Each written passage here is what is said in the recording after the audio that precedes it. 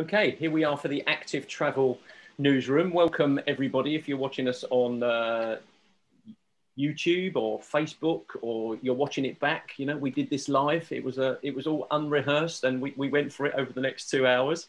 And uh, my stalwarts, my trusty colleagues, my left and right arm now, when it comes to doing these newsrooms about this kind of stuff, are Anna, Anna Singleton and Mel Gould from Sustrans. How are you both? You okay? Good, thank you, John. Yeah, yourself? Not too bad. There seems to be a little less pressure with this one from International Women's Day. Hmm. Yeah, I think once you've had a run through, a practice try, and then you, yeah, definitely feels more relaxed this time, I would say. Good. How about you, Mel? Are you looking forward to it? Yeah, really, really great. And um, yeah, hope, I think having had had had a go at it once, um, hopefully it'll be super smooth. We'll be fine. We'll be fine. We'll, we'll go off on our trusty journey then, okay? So, like I said, it's one o'clock um, and we've come up with this active travel newsroom. But what I'd like to do first, before we get into some of the interviews that we've done with um, teachers and, and support workers and stuff, and obviously getting you guys to comment on some of the interviews that we've done as well, I just want to find a little bit about yourselves really because some people might be watching this and going oh i've known anna for years or i always see her on a bike as i always do i always see either yourself or mel or else Aylestone Road mm. cycling along but they might not know maybe how you first got into cycling or how long you worked for for Sustrans. So maybe if we start with Anna, um, so schools officer, how long have you been doing that? For? Yeah, uh, so I've been doing the, this role for 12 years. Um, before that, I worked in a different sort of environmental field to do with transport, but prior to that, was a physiotherapist in the NHS. So I guess my my sort of coming to active travel has always been about the health benefits more than anything. So I think that's a it's a big thing for all of us, but it's definitely a, thing for me that if we can do things to be more active, that has good impacts upon our general health. So that's kind of a, a big thing for me why I do that. Um, so yeah, I've been doing this role for 12 years. Um, and it's just it's a great job because it's very varied. Um, I'm not the kind of person that's great to sit in front of a computer all day long. I like getting out and speaking to people. Um, and this job enables you to do that. You know, it's an active job, which is great. Um, and it's very much about doing what you're asking other people to do. Um, and that's great about Sustrans. You know, we, we do do that, um, which is very important, I think. Yeah. So there's that kind of role model role aspect to what you do. Every day will be different because you're going into school. I'm sure teachers will tell you that as well as much as maybe yeah. from the outside it looks like it's a formula and it's the same all this structure, but every day is different. And I always assumed that you come from a kind of cycling background. I didn't realize there was, you know, physio and you so you were more interested in the active element of the active travel, which is quite. Yeah, I think so. A bike's always been really important in my life. Um, like as a child, it's what I used to do with my parents. We'd go out for bike rides, and then a bike started to become my transport. I guess in my late teens, when you start to get a bit more independence. Mm. Um, and then when I moved away for university, that was my way of getting around, getting to hospital placements when I was on my course. Um, and it's, it's that freedom, isn't it? It's that first bit of freedom that I think a lot of people experience sadly, I think some people then drop off and look for other things like like a car, but that never happened for me. I, I decided not to learn to drive. Um, so a bike has always been my sort of number one transport, and it's been really fun actually. Um, I had a child about five years ago, so going through that process of how do I keep cycling because I think that's quite a tricky thing as you know as you've got a little one and how do you do that? But I, I think it is possible, and it's nice sort of sharing that experience as well. Yeah, and obviously you're off to pick up your daughter at the end of the newsroom from Granby, Granby School. We'll be hearing from uh, yeah. Uh, going down at Granby later on. Mm. Um, and so, yeah, I guess it's a, it's one of those ones, isn't it, where you know it's you can live all the elements of your life with a bike. It just depends how much more convenient a car appears appears at certain times during that, doesn't it? And invariably, it relates to work, doesn't it? Yeah, and I, I think sometimes people have the image of a, of a cyclist sort of dressed in lycra and stuff, and that's not me. Um, my bike is my means of getting around. It's how I get from A to B. It's how I'm going to pick my daughter up from school later. She's going to be on the back of my bike. How we get some bits of shopping. It, you know, it doesn't have to be a, about a particular kind of image in your head of, of what someone is who rides a bike. It's massively varied. And I think that's getting better over the last sort of five, ten years. I think people sort of maybe understanding that um, and I think the kind of bikes that you can buy are getting more varied and more useful for people's lives daily. Um, so I think that's definitely improving. Yeah, we're kind of challenging those stereotypes. We'll talk about the role of the media actually as we go throughout the active travel newsroom because I think it's important. So let's have, have a chat with Mel now. So Mel, um, so how long have you worked for Sustrans and what were you doing before that? Well, I've, I've actually only been working for Sustrans since October 2020. So I haven't um, I haven't yet done this role in, in what we might call ordinary times. So I'm really looking forward to seeing what that will look like. Um, but I've really enjoyed um, working in a team with Anna um, and Wayne, who we'll meet later. Um, and yeah, and getting to know Sustrans as an organisation, which I think is fantastic. And and doing bits of work, you know, doing work with schools in in creative ways, given that it's very difficult to do things face to face at the moment. So that's been brilliant. Um, I, my background is I'm a, I'm a trained youth worker and I'm also a trained secondary school teacher. Um, and I've also um, lived in, in different countries uh, abroad. I've lived in Nepal um, doing education work there and in Eritrea. Um, and I did actually cycle in those places, but um, that was really the first time when I lived in Eritrea. So when I was about 27, when the first time that I rode a bike as an adult. Um, so I had really learned a bit as a child. I don't think I was ever very confident. And then um, I bought a bike just before I went to Eritrea. Was the wrong sort of bike. It was a it was a mountain bike which I wanted to go on things like the Great Central Way on, and you don't need a mountain bike for that. But it was it was fine. And then um, and then I started to cycle regularly. Um, then and my, I met my partner there, and he's really uh, a cyclist, and so um, when I came back, I, I didn't buy a car, um, uh, and uh, and then cycling became my main means of transport as well as walking. I still love walking as well. So if it's for leisure, I'll often walk, and um, if it's because um, I've got to get somewhere fast, I'll usually use a bike. Or I've also used my I've got a, a fold-up bike, so I, have used that in combination with a bus to get myself to Lutterworth, where I worked for a long time, and to get myself to Market Harborough on the train, where I worked for a long time as well. So yeah, and I guess sorry, John. That's interesting. It's a real varied, varied background as well. Because again, I, I, probably I know you as well from sort of you know the Green Light Festival and that kind of that that that, that lifestyle that. I remember that Green Light Festival at DMU in the Queen's Building, and like anyone walking past of it, look at all those slightly odd people talking about an alternative lifestyle, sort of you know anti-oil or peak car or any sorts. And now a lot of those issues they're kind of mainstream, aren't they? We're talking about them all the time. We're teaching about it in schools. You know, it's a conversation starter, not a conversation finisher now. Yeah, that's right. And so, yeah, so uh, uh, side by side with my work, I've, I've always been involved in the sort of environmental world and environmental campaign, not always, but for a long time. Um, and um, actually, the first time I met a Sustrans schools officer, his name was Dave Cloudsby, we still work with him now.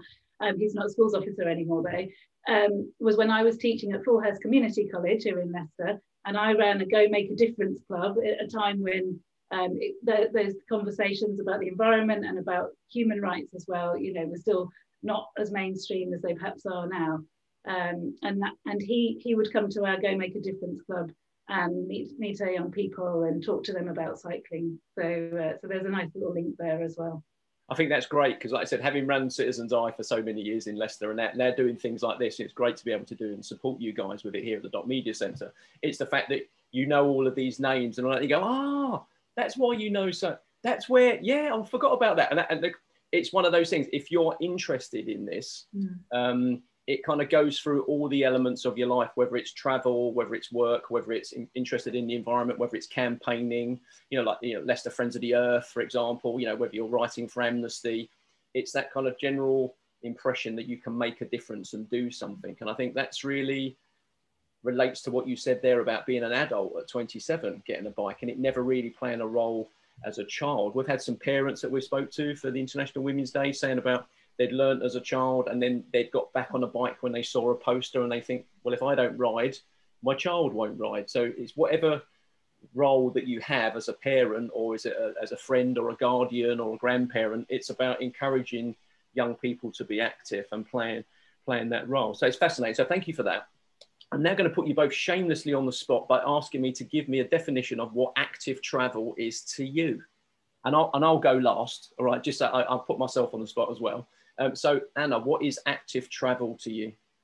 I guess active travel is, you know, you can break it down to the different components. So it's, you know, the different choices, the public transport, the walking, the cycling. But I think it's it's more about just considering what transport you take. You know, it's making that that sort of thought process of what's the best. You know, if I'm I'm traveling half a mile, You know, I could walk it, I could cycle. it. It's that idea of, of using your yourself to get somewhere for those journeys. You know, we're not saying to everybody, you know, if you need to travel 10 miles to work and there isn't any public transport, you know, understandably a car might be the best option for you. But for some of those other journeys, to start to consider active if travel as being a, a real sort of possibility and a good possibility that makes you feel better as well. Cool. Well, you're winning the prize so far. That's good. Um, uh, Mel, over to you. Well, what I say to children is active travel is when you use your body to get from one place to another place. Um, so active travel is anything which involves using your body instead of using a machine or using your body as part of that journey. As Anna was saying, you might walk to the bus stop and then get on the bus, for example, but you're not just sitting or just sitting um, in a car for the whole journey. So, um, so that's what I would say active travel is. And, and I guess, yeah, in terms of benefits, you've got you've got the activity for your body and how much healthier that is for you. There's the the how much healthier it is for your local environment, reducing air pollution, um, and then how much healthier it is for the planet. So it's just a triple win, really. Yeah, that's good. Well, I'm going to give you a political answer, and I'm going to say I agree with both of you. Um, now, I think my answer would be probably very different from when we got involved in doing the International Women's Day newsroom a couple of weeks ago, and now doing this one.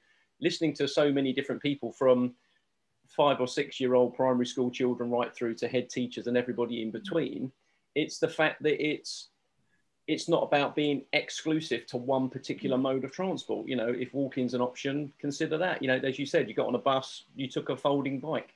If the car's hmm. the option it was interesting to listening to the teachers saying that they deliberately cycle friday so they can't take work home or their yeah. laptop which then means they can cycle back in on on monday it's, it's, it's kind of changed it that way, isn't it? Yeah, I think we like to use labels lots, don't we? We like to say to one person they're a they're a cyclist, they're a walker, but I'd rather say, you know, sometimes I use my bike, sometimes I hop on a bus. You know, it doesn't need to define who we are all the time. It's just about what choice is best at that particular time. Um, so that's that's been great to have those conversations with lots of different people, and and that's kept coming up time and time again. Yeah, brilliant. Well, listen, guys, I think we'll dive into it now. That's great. I just wanted to set the scene so people knew why we were having this active travel newsroom, really, and you know where where the idea had come from to just do something, maybe look at it slightly differently. And what we've got with the format is we've got um, some um, teachers and workers at schools that we've spoken to over the last couple of weeks, which has been really interesting. And we've got full interviews with them that are on YouTube, and they'll be posted now while we're talking. The whole interview will go up onto onto the Facebook page and all the various links. But what we're going to do, I'm going to pick out some clips um, of uh, these people talking, yeah, and then what we'll do is we'll talk around the clips and um, get, maybe get behind it. I've got a few questions to ask you and any observations and stuff. Um, now, what people will notice when they watch the whole video uh, on YouTube is you guys are in various various versions of them, and as is Wayne, who'll be joining us later. I've not played those clips because it'll be so Anna, how did you think you did there? You know what I mean? That, comment on what you said. I'm not going to do yeah, that. Yeah, be a bit awkward that, couldn't it? would you mark yourself out of 10? okay, so what I'll do is I'll ask you, Anna, because you were involved in this one. Um, we're going to speak to or listen to Jason mm-hmm. Taylor now down at Catherine Junior School. Mm. Um, just tell us a little bit about um, Jason, your involvement now, and how you were interested in getting them involved in, in the mm. Yeah, so Catherine Junior School is up in, in Belgrave. Um, it's a junior school, so sort of ages seven up to 11. It's quite a big school. Um, it's a very get stuck in school. It's a very lively school, very keen on taking part in different activities. Um, so when we contacted the school about having a, a clean air day, um, they were just so excited. And I think that's when you first talk to a school and you say, how about shutting the, the road to traffic for a day? You know, some schools would go, oh, I don't know about that. But they were just so positive. And and Jason, for me, sets the tone in that school. You know, he's he's Mr. Positive. He's Mr. coming up with different ideas all the time. And I think that'll shine through in the interviews that, that we show now. Yeah, excellent. And his role's quite interesting as well, isn't it? Because it's kind of like mental health support, well-being, yeah. kind of role as well. Yeah, sort of learning mentor. Um, so yeah, he gets to meet lots of the pupils in his school. He gets to do quite a lot of sort of enrichment and, and obviously talking with families and seeing if he can help families with the child's education. And um, so yeah, very sort of holistic way of, of, of being a teacher, I guess. Yeah, I should have chat with my university students about is Jason Taylor an influencer? That would be quite interesting. Mm. You know, yeah, yeah. I love those kind of conversations. Right, let's so let's dip in and have a have a look at um, Jason. I'm going to share my screen now. Um, so let's get a YouTube channel up.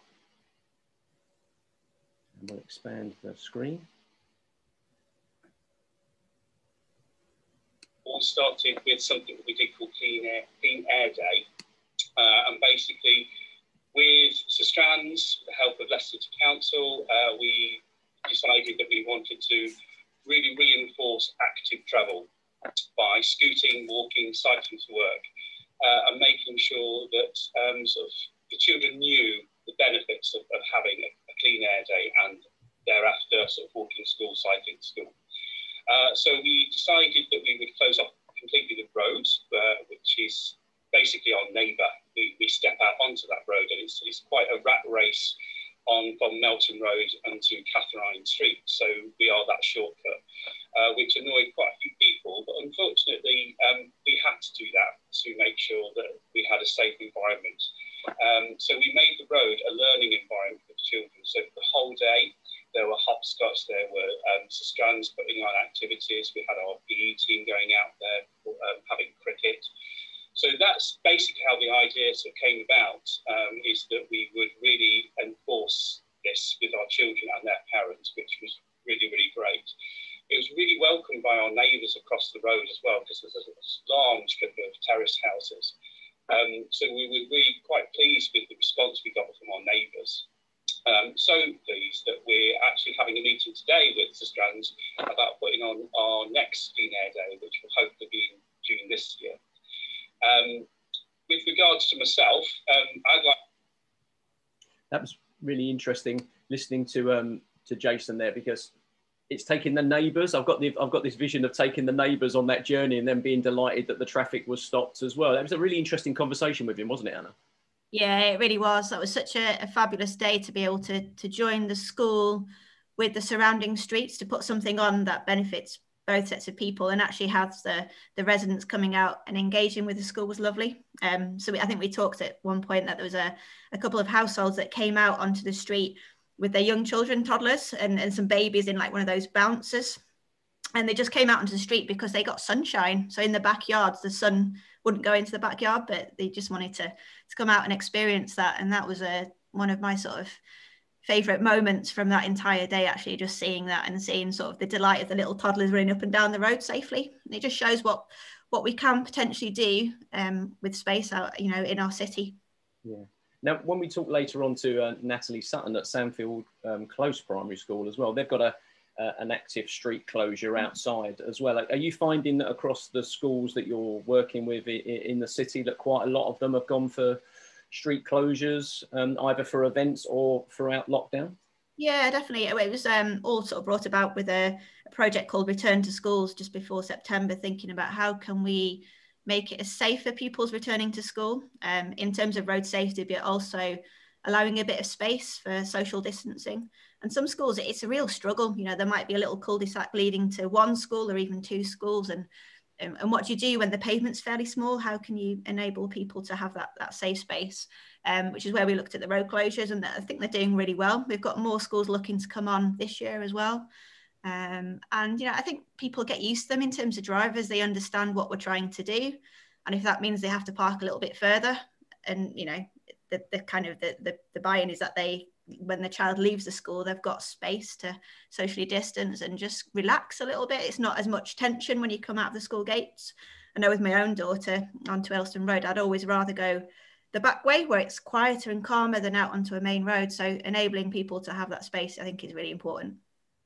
Mel, just bringing you in here on that kind of wider environmental issue, really, we're talking about you know street closures or just outside schools. You know, we've had quite a lot of um, uh, lanes re um, closed off and turned into cycling for key workers and stuff. That seems to have been quite a success and got Leicester quite a lot of national coverage at the start. Walking in every day now, as I do from Aylestone, traffic levels at certain times seem to. Well, the perception is they've gone back to, to pre-COVID levels, but the chances are that they haven't. Um, from your from your um, experience and your own knowledge of, of, of, this area and cycling around there, are, are we getting traffic is it returning to its normal level, or do you think there's still people that are walking and cycling and using those alternatives rather than just jumping straight back? Because certainly a lot of buses seem to be quite empty at certain times. So, so I have read some things, and I'm going to now not have the statistics to my fingertips. I feel like I've read that 20, there's a figure of 28%, which is people who started cycling that weren't cycling before. Um, and I think there's a greater, greater number, maybe 50% of walkers. It may not be that exact statistic with that exact thing, but there has been an increase in cycling and walking um, during, during the COVID period. Um, I think you've got the simultaneously, like you say, drop off in the use of public transport. And so what what overall might happen is that it looks in terms of the traffic can it can look the same as well. Um, so yeah, so so so it's a mixed it's a mixed picture. And for some people who might have been doing a more active journey, they may now be doing a less active journey in a car, or where they might have been car sharing, they may no longer be car sharing. Mm-hmm and at the same time you've got more people taking journeys by by walking and cycling and especially because as you said there's there's a lot more infrastructure now that supports that. Um, I've done I've t- I, I normally avoid the sort of the arterial routes and the big the big roads but I've recently been you know, deliberately going down them to see what it's like as a cyclist now with the new paths, And it really does make a difference. In fact, I cycled to the station. I normally cycle a very roundabout way to the station to try and avoid um, the traffic. But now using the new routes, um, I've got a, a, full train before I needed to get my train um, beforehand. So, um, so it really does, you know, it can make a difference having this infrastructure in. And we, yeah, we really obviously, I think with a heightened awareness about the climate emergency as well, there's a hope that people will will match up, you know, their their aspirations about helping to deal with that, together with their own concerns about their own health um, because obviously a lot of people have been less active being at home during this period as well. So hopefully people see those opportunities to be active, to get their bodies active, and they'll use they'll use those things more. Yeah, that's a really interesting point you make there about getting to the station quicker because I guess the, the thing with the, using a bus, wasn't it, is always it's not a direct route for me. I've got to use two buses, so therefore I use my cars. That kind of chicken and the egg. You know, how, how does it work? And I guess with cyclists as well, you've got used to um, changing your own behavior to go a route that maybe you felt the perception was it was safer for you, even though it took longer. Now, suddenly, you know, you've got the ability to be treated the same as another road user by having your transport accommodated on the main arterial routes, which is not something that was normally happening.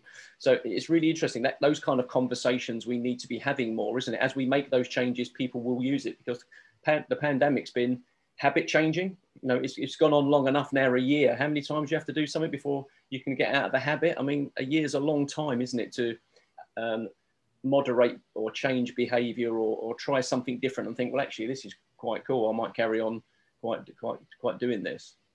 Yeah, and I, I don't know if Anna's noticed this, but I really have noticed how many really young children are out on their bikes, no, not on stabilizers, not on balance bikes, but actually cycling confidently on their bikes. And I don't know, Anna, if you think that's been an increase, but it seems mm. like it to me. I think it really has, yeah, particularly sort of on our traffic free routes that we have, that there's lots of young children out there. And I, I wonder because of sort of the last year, families maybe had a little bit more time to to do that, to get out and on the bikes. And I think more children are, are learning how to ride perhaps at a younger age because of balance bikes. Um, but I think yeah, there's definitely an increase. You just need to go out sort of Aylestone Meadows, and it's it's fab. It's so lovely to see, and I, I really really do hope it continues. Excellent. Right. Okay. So that's that's our first part, clean air day. So I want to move on to uh, Jason shared a very personal story with us, um, which I thought was interesting because it just shows you the impact that maybe you know something like a tragedy can have on changing your life, and then maybe all aspects of your life that you wouldn't normally wouldn't normally consider. So let me let me tee, tee this one up. Here we go. And we're back to the same thing that we were looking at before.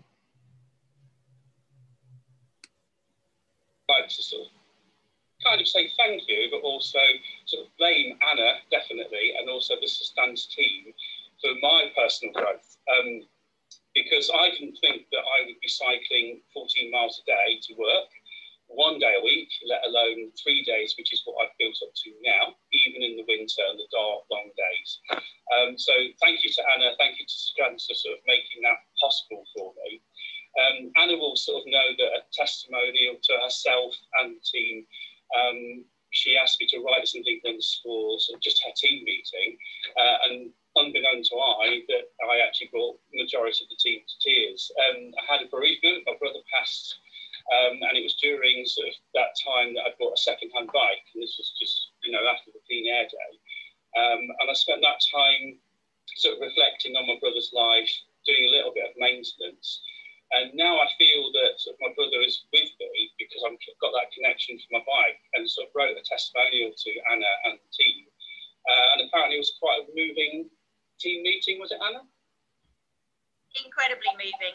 Yeah, when someone is that open and shares something like that with you, and then also gives you the go ahead to then share it to your colleagues is is very overwhelming. Yeah, and there was a, a room of teary Sustrans officers for sure. Um, some of the other skills that uh, I've learned and sort of been, been using is sort of bike maintenance as well. So my partner sort of pointed out to me, although I've got a, a car, a brand new car sitting in the driveway, which I don't use anymore, um, it's really important to sort of build up that maintenance and pointed out that, you know, if my car would need service at least once a year, then my bike would need quite a few. Didn't quite realise that, so I've had to hone upon my skills and also have the backup of Sustrans and uh, Chris Dr. Bike who is always there for me. You know, I can always ring them up and say, I've got this problem, I've just come to work today, help. Uh, and Anna Strands and Dr. White are always there saying, okay, let's just have a, a, quick look at it, or let's see what we can do, or tell me a bit more about it. So that's really good. It's another skill I've learned. And also through Anna and Strands, I've actually got a brand new bike uh, a couple of years ago as well after Clean Air Day. Then I decided to sort of not go on holiday. So again, not using any sort of transport, but also using that money to actually buy a brand new bike as well. So uh, thank you, Anna, for all of those things. I could listen to Jason all day talking. Actually, I think he's a great he's a great motivator as well. And um, we were talking, weren't we, about you know how we could do more with him to get him in front of other schools to help teachers that feel they needed to influence their maybe their management team or their or their yeah. trustees and stuff. Really yeah, interesting story though, there, Anna. Sorry, say that again, John. Really interesting story that he shared there. It is a very interesting story, yeah, yeah, and it just shows, doesn't it, how you know, things happen in our lives, and sometimes having that space and time, and just to, to think about things, to process things, is is really valuable, and kind of that that, that fitted really beautifully with with him cycling. Um, but yeah, Jason is an individual, he's he's fantastic. He really is. You know, to to that school to get to know him as a sort of colleague and a friend has been amazing over the last couple of years um, and the energy that he brings. And uh, it's funny this this week he's been talking to another member of staff at the school who wants to start cycling um, and he's kind of put us together and started those conversations. So it's kind of that drip effect isn't it? So one person does it and then another member staff sees oh yeah jason's doing it oh maybe i could do it. So it's kind of it's snowballing which is great. Yeah that fits perfectly with the next clip actually what we've got of him because he was talking about um, things like impact um, that you can have as a teacher. And again, that's something that's come out. with we're talking to quite a lot of the other um, teachers and deputy head teachers and head teachers and you know learning support assistants throughout this time, and even parents to an extent, isn't it? That parents seeing you bringing your child to school on a bike yourself, not just the child on the bike, but you on a bike as well. Um, as I'm sure, as I'm sure you do, Anna, it's, it's a really um, different way of of, of doing, isn't it? So let's talk, listen to this part as well from Jason about um, impact and also the wider impact when it comes to mental health. And I'll pick pick this up with both of you when we when we come back. I think you have on on the children when they see you making these kind of lifestyle decisions. Really, I guess. Um, so I'm, I'm, actually known for cycling in. Um, I was just um, I also do counselling in school, and I was talking to um, a student yesterday who, through the pandemic, has sort of got anxiety about coming to school and I sort of honed in that it was actually the walk to school for dad that was the biggest problem, getting out that door and then walking to school. So we talked about sort of different things and different ways that she could walk to school, um, walking with another parent, walking with the two dads walking together. And we looked at sort of the, the fact that she'd got a scooter and she'd got a bike. Uh, and today she sort of saw my bike in, in this quite, quite new bike shed that we've got. And I was like, I can do it. And I live, you know, seven miles away you could do that one day. And so I spoke to parents last night, and it really made a positive impact. As in, she's now not thinking about walking out that door and dreading coming to school. It's, oh, today I'm going to do my bike, tomorrow I'm walking with my friend's father, you know, the next day I'm using my scooter and I can lock it up. And we were talking about how safe her bike was because I've got a a lock on mine, the bike shed's locked up, and then the gates are locked up. So it's like triple locked, basically. If someone's going to steal a bike or a scooter, then they'd have to get past the security cameras in three different locks. So it was just having that positive impact on that particular child. I thought what was quite interesting about that as well is if you can get past the security cameras, the, the, the three locks and the gate, by that time I should imagine Jason would have arrived and you'll just put the bike back. Um, and Mel, just bringing you in here as well about the impact of things like you know mental health and anxiety during during during the pandemic. I mean, there's there's the positives, isn't there, of being out and travelling on your bike or walking or scooting, just being just being outside. I know certainly this morning talking to my students with one to ones coming up ready for their sort of you know final deadlines. There's a lot of them are starting to see the walls move in after a year of you know blended learning and you know only seeing me online if you like. Um, i think it's, it's really important the important important aspects of being out isn't it on on your well-being? Absolutely yeah. And i suppose if you think about some of the things that come up when you think about you know when i think about cycling i think about fresh air. I think about, I often, as I said, choose quieter routes. So there might be peacefulness. I might observe something in nature. I might hear some birds singing. Um, I almost always meet somebody that I either know or that will smile at me on the way. Um, and, you know, similarly, if I'm, I'm, walking, I'm sure it'd be the same if I was scooting, although I'm not an expert on that. Um, and and then I suppose I think about oh well what's what's the image that comes to mind if from driving and I only drove for a very short amount of time but what comes to mind is traffic jams uh, road rage um, and lots of things that perhaps not so good on on your mental health um, and that's not to say it's completely binary and I'm sure some people find um, find driving relaxing and you know especially if you look at the adverts where there's this um, fabled roads with no cars on, um, it would be lovely and relaxing. But but generally speaking, I think you know any form of active when you're active, we already know that activity is good for your mental health and well-being. And then you add to that being outdoors, breathing the air, you know, being nearer to nature, and the sociability uh, of just smiling at people you know there's no glass in between you and being able to say hi to people when you when you see them in the street that kind of broader environmental environmental issues as well. I, I think about traveling on the bus as well, you know, sort of wearing a mask and, you know, the kind of all the, sort of the, the less has been of, of that over the winter. I think, you know, there's less colds or the, the common cold has gone because we obviously we're all wearing masks now and probably doing things that my Chinese students have been doing for a long time. You know, I've been teaching there for five years at DMU and the whole time my students have been wearing masks. So when they've been walking around, it's one of those things.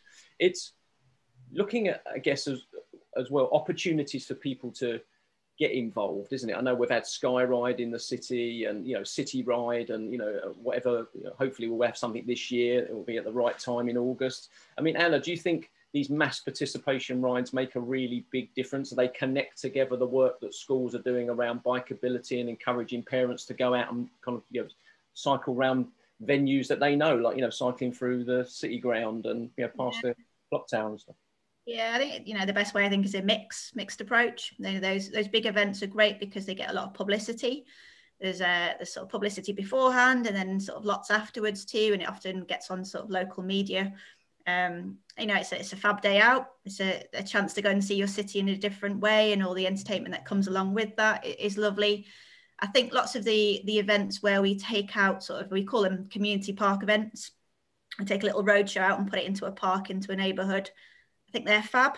You know, in the summer holidays, we do lots of those. So people living nearby can come bring a bike, have a bike check. They can go on some of our bikes. They can chat to us about routes. So I think it's yeah, those big events are fab because they're you know they're in your face and and people see them and go out and enjoy them. But I think it's also about that regular sort of contact, be it in the communities or schools or workplaces. So I think that mixed approach will always be be better for more people. Yeah, that kind of regular being seen, yeah. and then something big that maybe people yeah.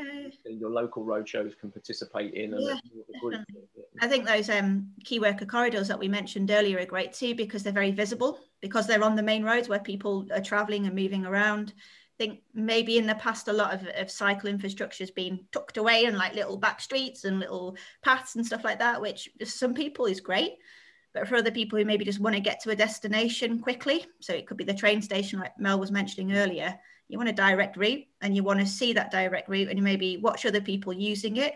And you know once you've seen other people cycling along they're thinking ah, you know that could get me to where i need to go as well. So um, that visibility is key um, and i think you know that's happening more and more with the infrastructure with the events with the community events the schools the workplaces hopefully we're covering lots of people.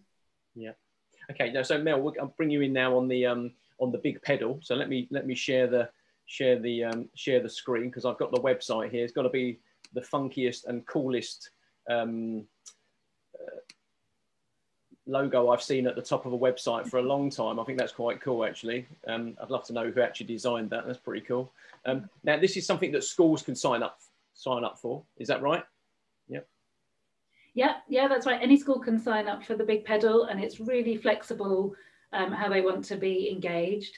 Um, so um, they can they can sign up for the whole two weeks um, and then um, they get counted for up to five days and they get put into all sorts of interesting prize draws and things like that. And so I'm a bit more knowledgeable about locally. Locally, I know that we can offer certain things um, to them. So myself and Anna are, um, are offering a, a, sort of an outdoor session in the summer term, which could be a balance bike session or a, um, uh, uh, for some people it might even be a led ride um, uh, and um, and there's also the chance to win uh, the stunt rider come and do a playground um, activity, a, a, sort of stunt show. So that's all available. And um, I'll pass over to Anna to talk a little bit more. Yeah, yeah. So it's a, a national competition. Um, I think we've gone over a thousand schools that have now oh. registered. I think. Yeah, yep. five, five more, five more have registered since we started. um, so again, you know, we were talking earlier about how do we keep that kind of idea of active travel in people's minds, and this is one of those tools that we use. You know, we're saying to schools, why not, you know, use this time period? It's springtime, the weather's getting better. Maybe people are thinking about being a bit more active in the way that they travel to school. Um, and it's really flexible. So it's not just cycling, it's walking, it's scooting, it's wheeling, um, being active, getting to school.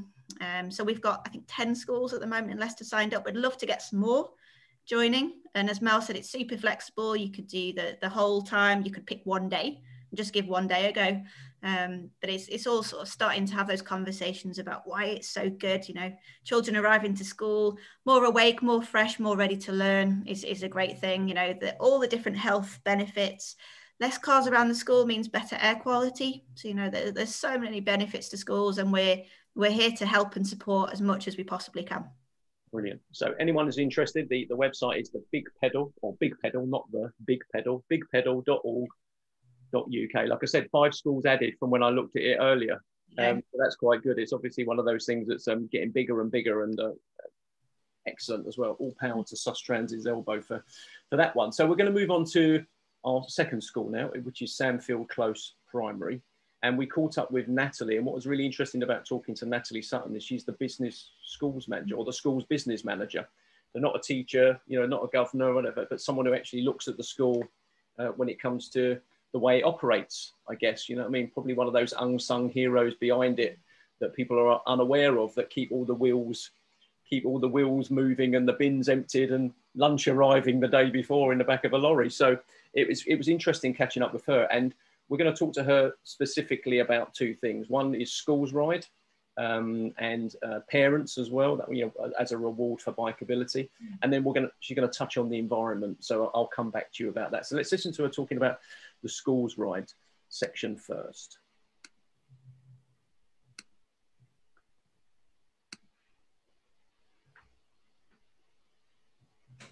like it was um, it was cycling proficiency then. You got your little badge that you put on the front of your chopper and now you've got bikeability and stuff but in Leicester you've actually got this schools ride isn't it? So I mean Natalie your guys have participated in that right from the very beginning you were saying.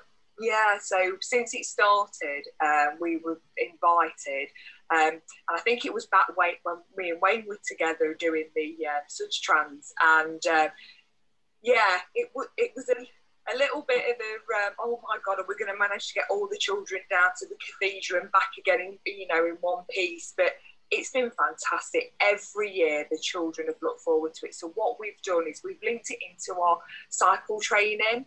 So it's a reward for them to sort of showcase um, their achievement of passing their, their level two bikeability. So there's been a real strong link with Sustrans and bikeability really with the school since day one. Um, but yeah, it's really, we really look forward to it. Um, yeah, we've got a lot of members of staff that give up their days off um, to help us take the children. We've had lots of parents and grandparents in the past um, that have actually given up their time to help us. And it's amazing. There's such a good atmosphere, isn't there, Wayne? There's a real good vibe. Yeah, um, yeah, we love it. And the sun always normally shines for us, which is even better. Um, but yeah, it's a shame that we missed out on um, 2020, and it looks like we're going to miss out on 2021. But hopefully, we'll come back again um, in 22, and you know, and it'll be as fantastic as ever. Uh, Wayne, we were talking to Anna and, and Mel um, uh, during the last couple of recordings that we've done, and it, I, I, was saying it's interesting, isn't it? When you got all these young people, you see it's amazing when you see it in, in Leicester. If you're not expecting it as well, they all come past, and it's just like, where are all these kids coming from, and where are they all going, and what are they doing? Um, it, it, it's an impressive sight to see, having filmed a few of them as well.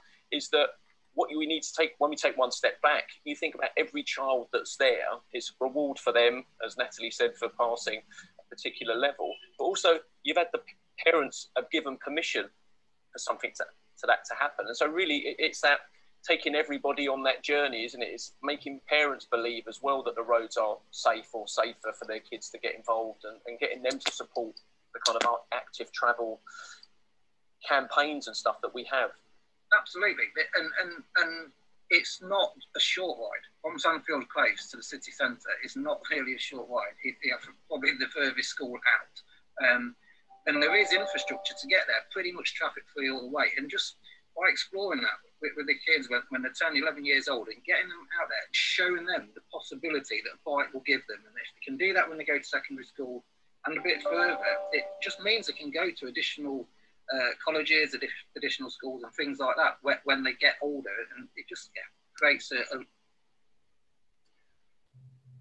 that was great listening to um, to Natalie there talking about the impact of you know something like the schools ride as, as a reward for the young people as well when they've done that. And then just kind of just touching base with Wayne there about um, you know parents and stuff because that's a really interesting thing isn't it? Um, and I will bring you in here you know getting getting parents involved in some of this stuff as well is really, really important.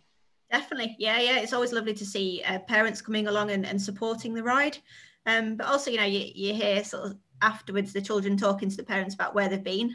And we, uh, we often try and supply like a little route card for the, the child to take home so they've got a description of how they've got into the city centre and how they've got back out. And it's again, it's the idea of maybe seeing your city in a different way. That there's there are different places you can ride and that can get you to places, you know. And, and that is a good length ride from Sunfield to the cathedral. So I'm I'm always really chuffed when you see the kids sort of arrive back with still big smiles on their faces. Um, so yeah, it's it's a shame maybe it won't happen this year in the same format um, but we're trying to work out sort of different ways of doing it. But when we can, it'll be such a fun, happy day when we can get back to doing that. Excellent. So what we'll do now is we'll, we'll play, I'll play the next clip, um, and this is where um, Natalie was talking about the environment um, specifically. Uh, let's find it here.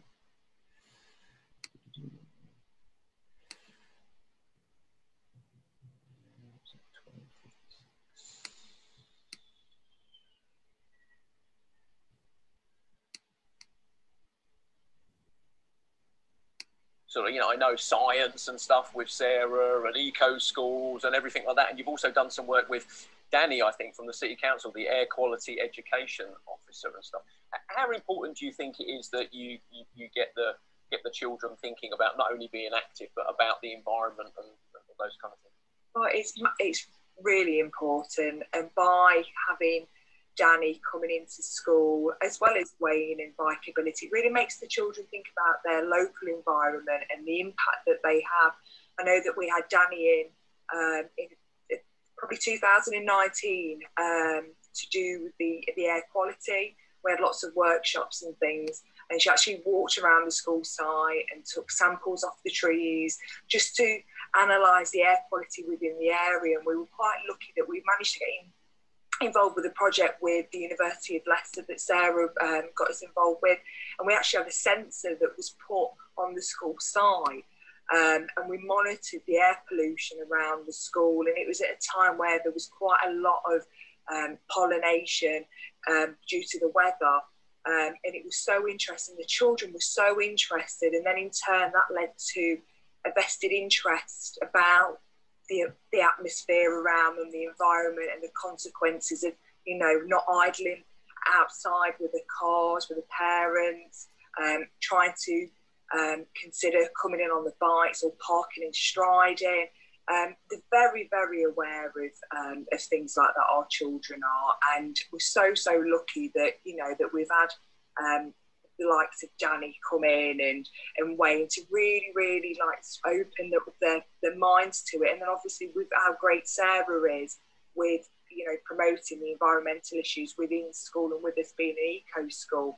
But yeah, they're very, very aware of the local surroundings our children are. And it's fantastic because they'll take that with them as they grow up into adults and hopefully continue to have that understanding of their environment. So we've been joined by Wayne now. So uh, Wayne, thanks for uh, for joining us here at the uh, Active Travel newsroom. Um, it was really interesting talking to Natalie, wasn't it, when we spoke to her last week because she mentioned about some of the work that you've done down there as well. But also, it was, I thought, very insightful as a, a school's business manager to be thinking about the not only just the kind of the day to day operations of the school, but the impact that you're having on children long term when it comes to learning some of these some of these things. It's, it, it was an interesting conversation, wasn't it? Absolutely. It's all yeah. It's all always been interesting uh, since first started working with Sandfield Close, and that is because of um, Nat, uh, Natalie, and she mentioned Sarah, and there's also Amanda, the head teacher. The way they they approach it, that it's not just looking at the day-to-day stuff, what they've got to do in the classroom. It's about understanding that wider impact of what they do and what's outside, and how that can affect the children's education. And they ju- they just build it in so well. With, with same with a lot of our schools, and we, we do see with the schools that are leading on this, it's it comes from that point where they're listening to the children and they're combining the, the, whole aspects of, of the education and what we do, the active travel, but with what they're doing with the air quality, with damage, they say as well. So, so, so Wayne, tell us what, what's your um, what's your job title? So my job title is delivery coordinator for the East Midlands for Sustrans. Okay, so that so Leicester's one of your delivery areas. What what other yep. areas will you be talking about? Other cities? So I manage projects in, in Leicester. There's two in Leicester. The schools one, which uh, Anna and Mel uh, work on. We've got, well, we did have a workplaces project. That's been very different this last year. So we've got workplaces officer and community stuff. He's been working behind the scenes on a lot of stuff supporting Leicester City. But in other areas, we've got job seekers uh, where we look after uh, support job seekers getting back into work. We've got workplaces, community projects. We've got schools projects in Nottingham as well. Um, and we haven't had one for a year or so, but in Lincoln we've, we've got a project just starting again in Lincoln. It's had been a year or so off because of funding changes. But uh, yeah, starting in April is going to be another schools project, very similar to what Anna and Mel are doing here. And, and, and from a, a, a sort of a, a known perspective. You know what I mean? Do, do, do, you think what's the what's the general public's awareness? Do you think of of Sustrans maybe as an organisation, or do you think they exist but they think it does something specific rather than some of the things that you just spoke about?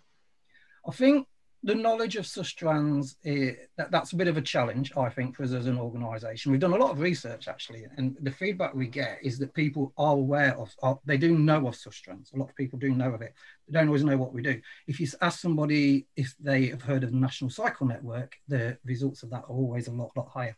And when we explain to them that uh, Sustrans came from the start of the National Cycle Network 40 odd years ago, and we're sort of the custodians of it. We don't own all the land, it's, uh, it's owned by different uh, people and, and, different councils, different landowners. But yeah, we, we really do look after it, we advocate for it, we uh, really are pushing to make sure it's, uh, uh, yeah, an equal transport option. Uh, there's the same as roads and trains and things like that because there are so many people that rely on bike and and on foot uh, to and wheelchairs users, all sorts, and even in lots of areas around the country, people on horses use it to get from A to B, so for leisure and for work. And what was your sort of pre-Sustrans employment career?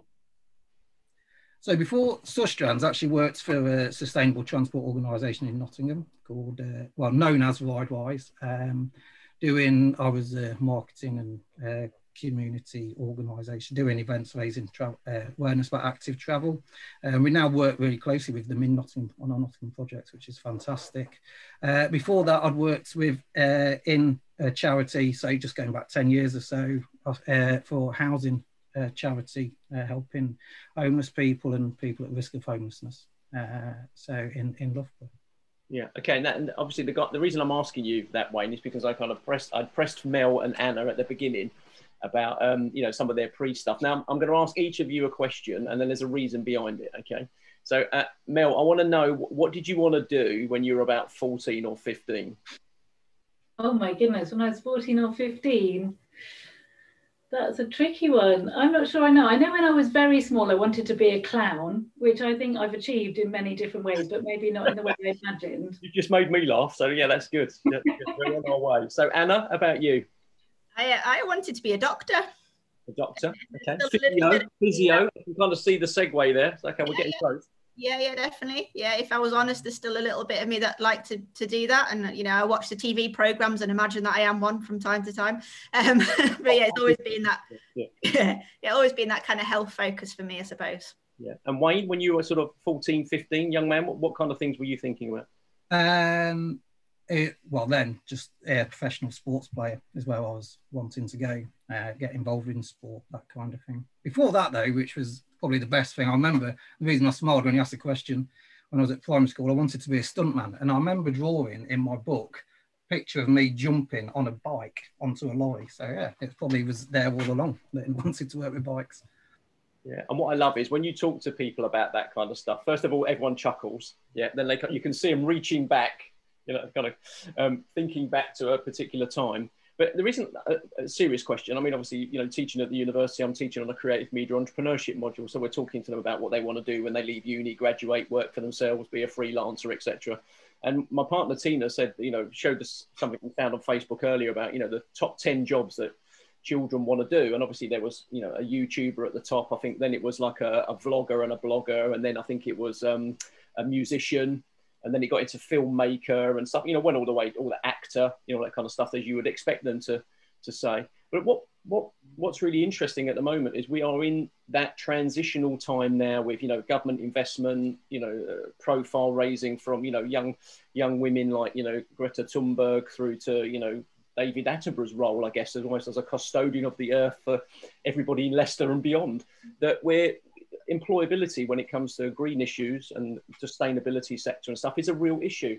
And how do we get working the kind of roles that you guys do? It doesn't matter whatever your route is, you know, whether it's through working overseas. I guess there's a link there with, with, with Mel and the environment and international development, you know, from being a, a physio for you, Anna, through to, you know, working in a sector that's around issue based stuff, Wayne. How do we how do we start getting young people to consider careers where Sustrans as a schools officer is something that someone naturally chooses, doesn't find their way as a circuitous route too? So maybe start with Anna with that one. Yeah, I, th- I think the, the conversation with Natalie earlier, you know, just starting to talk to children about sort of environmental issues and about they how they can impact upon those if we start at that age and, and that understanding and then build that up through the school years. Um, and you know it, it's going to be something that becomes more sort of you know prevalent in our in a sort of job market i guess with sort of the ideas of energy perhaps and transport and things. So hopefully that will trickle through to, to secondary schools and colleges and the understanding of that there is a there's great sort of options for, for jobs out there in a, a sector where you can make a real difference. Um, so I th- yeah i think that's where i'd start. Mel um, well, I think I think what's important for young people when they're thinking about their futures is, is that they often look at who's around them that's inspiring, um, and that's why lots of children want to be teachers or famous people or those sorts of things. So I guess it's our job to be inspiring. Um, so to to to, to show that our, you know that our job is fun, uh, that we're making a positive impact, and to share that with with young people. Um, and I guess that's that's what we need to see across the environmental sector, um, and and also just to share the different sorts of impacts that we do make, um, because that's what children, that's what everybody wants at the end of the day, isn't it? They want to do something that makes a difference and that has an impact, and whether that's about influencing others in a positive way or influence, you know, having a positive impact on the local or the international environment or um, justice, you know, for, for others. Um, I guess, yeah, we, we need to talk about those things and, and model those things. I think being a good role model is, is key. That's, re- that's really interesting points from both of you there, actually, particularly what you just said there, Mel. Now, now Wayne, before I get you to answer, um, you, are you involved in the recruitment of staff as well? Me? Yeah. Yes, yeah yeah, I uh, interview all the team. Excellent. Uh, what I'm saying is, yeah. so therefore, you're getting to see people come through and see where they are in their career when they've made the decision to approach Sustrans for employment. I mean, from from your perspective, are you getting people that are starting out early in their career, um, you know, after A levels or um, you know, graduating from university as a career choice, or is it always people that have done multiple other things in various sectors? This last this last two years has been a, a, a good mix, actually. Uh, people come in uh, from graduates and through to, uh, yeah, people that's got a lot of experience and worked in sort of, we tend to get a lot of people that's worked uh, for these kind of jobs in the educational sector before in some way, either as a teacher, teaching assistant, or part uh, some way connected to a school. Um, we also, yeah, we, we get people that generally come from having the the environment and being conscious about the environment and it's their way of life. That's where the people that come in to make good officers are really conscious of it all uh, and what it all means about what you was all talking about earlier about air quality and health and everything like that. So yeah, we, we do get a good a good range of people coming through now.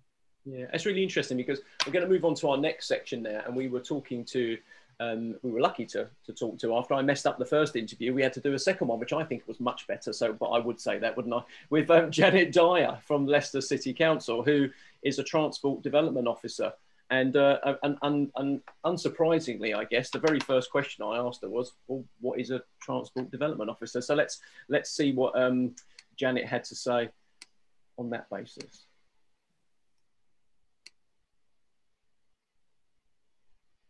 What does a transport development officer do?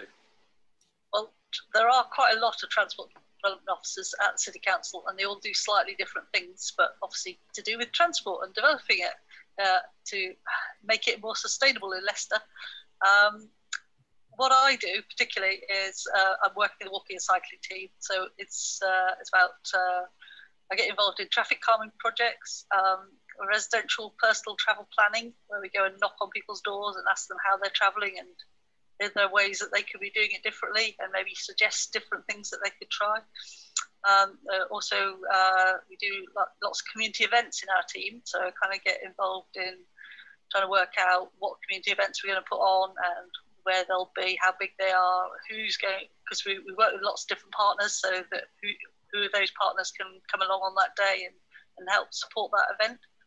Um, and I also do travel grants for businesses. So there's a whole load of stuff going on there because um, the walking and cycling team, we have um, funding coming in from different sources, and we have like three strands to our the work that we do. We do we have a, a business strand, a school strand, and a beauty strand. So we kind of have people working on all those different aspects.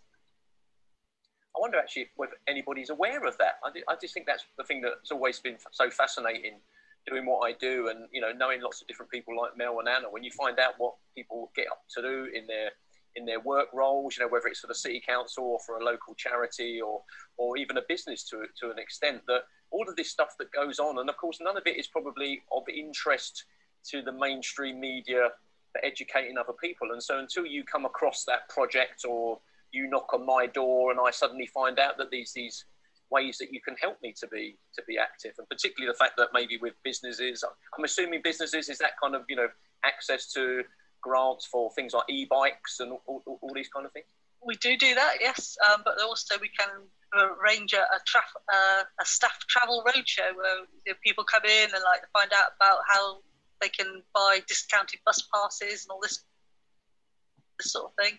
Um, maybe they might want to purchase a bike, and there's there's ways you can purchase a bike with like through a salary sacrifice scheme and that sort of thing. Which obviously, you know, until somebody tells you, you maybe won't realise that you know, there's different ways you can go about these things. Absolutely, it's, it's about the information, isn't it? You, yeah. you, can only do it when someone either tells you or you've accessed the information. Yeah. So, so can I mm-hmm. ask you, how do you how do you know these two ladies? These, these two ladies, they, they work next to me on they, the screen. They, they work for Sustrans, which is one of our partner organisations. So you know they're, they're an integral part of our uh, organisation. Um, they would normally be all sitting in the office with us, but you know we're all working from home and enjoying ourselves. on Zoom calls and things like that. Absolutely. But we do occasionally meet up out and about, out outside of school, perhaps. You know, to we have um, spent a lot of time getting the schools back safely uh, in the last sort of uh, year or so. So on, on two occasions, Anna's just been out again recently to, to make sure they're all going back safely and you know things are running smoothly outside. And again, most of the time, people don't realise a bit like that information is the fact that there's collaboration going on with organisations that are, you know, experts and knowledgeable in delivering these kind of projects or, you know, kind of access and stuff like that. I mean, is, is, is Sustrans one of those integral partners that actually aid the city council to be able to do so much more than it would if it was just an, an internal uh, position? we feel that is the case because they, they bring a lot, they have a whole national structure and obviously they bring um, knowledge from other other cities and towns where they're working with other people so that they can kind of bring that knowledge from their organisation in, into the city council. So you know, that helps us. So that other people at Sustrans are working in different cities and towns around the place. They may be at a different stage in certain projects to us. So they might be able to say, oh, well, when we did that, such and such happened. Maybe you should do it this way instead. it was great, great chatting to Janet because you, you really kind of get behind not even the headlines. The trouble is the headlines aren't even interested, are they, in that kind of that kind of role? And the, the partners, you know, Sustrans and many other partners, I'm sure that the city council engages with when it comes to uh, service delivery. People just see the city council and assume everybody's assume assumes the same. I mean, Wayne, is it? Um, do you have do you, do you have to really work to get good relationships with local authorities in the areas that you work, or do you think that it's it's a natural relationship, it's a natural synergy that you have because of you're trying to both move in the same direction? It depends on on which council it is in. I mean, we've been we've been working with Leicester for I think it's 14, 15 years, isn't it, Anna? Um, Anna's one of our actual for Sustrans, one of our longest serving uh, schools officers. But we've had behavior, we, obviously we work with behaviour change projects. We work with people to actually get them to uh, think about their options, think about their travel. But we've got the infrastructure side where we actually build things. We look after the National Cycle Network as well. And there's so many different ways that we support councils, uh, whether it's the local authority, whether it's the borough councils. We work with them in different ways and that relationship builds up. Once they've seen what we do, uh, that relationship does then start to get to a point where it snowballs and more people are aware of it and it just keeps going and keeps going which is really good but you do we do have to work hard it's uh, uh, with all local authorities because a lot of the a lot of people in uh, that's been working in this sector for so long have been they've had to work in a certain way they've been told they've got to work in and they've got to build roads for cars and they've got to build cities around cars and things like that. And that's the way the political leadership has gone. Now it's different. If you get the right leadership, whether it's in the school, like we saw earlier with Jason and we, and we saw with Natalie, if all the way up to the city mayor uh, and the councillors uh, and the, the team leaders in Leicester City Council and people like Janet there who are leading the way and actually making these things happen, it, it just, that's when our relationship works well with them. We can support them with different things, and yeah, it is that two-way thing that we can bring extra bits, but we learn from them as well. So yeah, it is. It's a continuous growth, I think.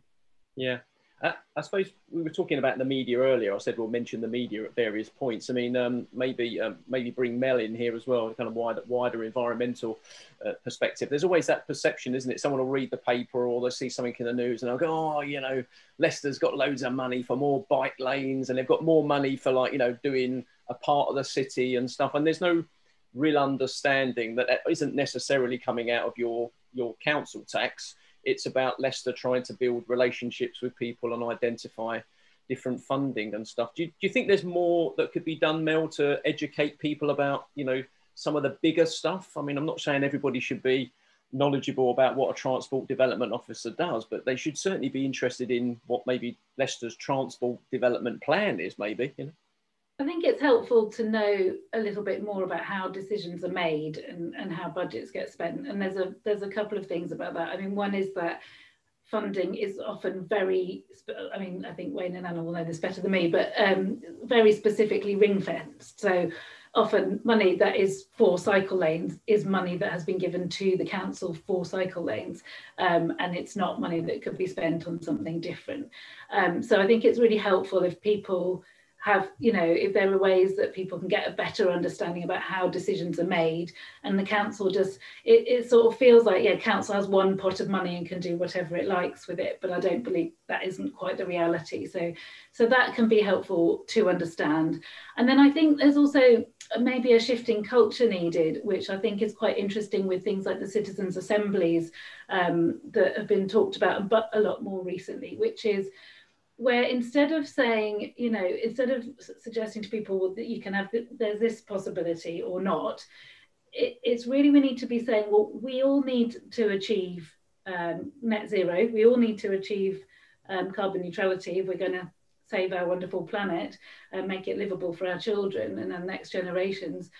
Here are some of the options about how we do it, and these are the decisions we made. We we don't have a we don't have a an option of not doing that unless you know unless we want calamity. So it's about how you how you frame things really and and helping people to understand given the fact that we need to massively reduce air pollution to save lives of children and, and adults in Leicester given the fact that we need to address a climate emergency we are looking at these different things and we have to make some decisions you know based on that. And and I think taking that approach and helping the general public to understand decisions in that kind of a context is a different thing to just going, do you want this or not? It's not quite like that. That's brilliant. Thank you. That's a great overview. And I thought that's why I was, it was great that even though you're relatively new to Sustrans and, you know, your, your role as a school officer and, and, and Anna, as we just heard from Wayne there, being one of the longest, if not the longest serving, you've got a bit of a broader perspective on the environment and holistic stuff. So that was brilliant. You did exactly what you were brought in to do there. Well done. um, Anna, from your perspective, you obviously, you know, having worked for Sustrans for, for, for all those years, you've, you've got to build relationships and know people from other organisations as well. You know, like things like British Cycling is very, very proactive, isn't it? The City Council has its own staff as well. Choose How You Move, which I know uh, Janet Dyer was, she mentioned that as well, didn't we? You've kind of got to be aware of what's going on around you, hasn't you, to uh, avenue to kind of re- not only fit in, but actually to be able to influence and, and, and yeah. bring that knowledge to the table.